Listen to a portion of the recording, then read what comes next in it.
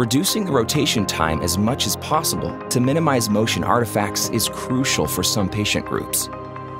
While single source scanners have gotten faster, physical rotation time restrictions mean that they can't cross the 100 milliseconds threshold, so motion artifacts remain a problem.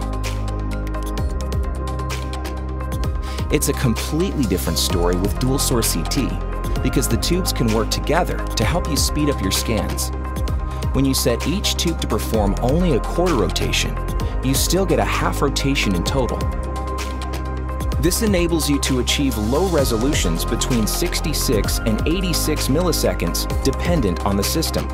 As a result, dual source CT is capable of eliminating motion artifacts even during the most demanding applications. Fast temporal resolution, powered by dual source CT.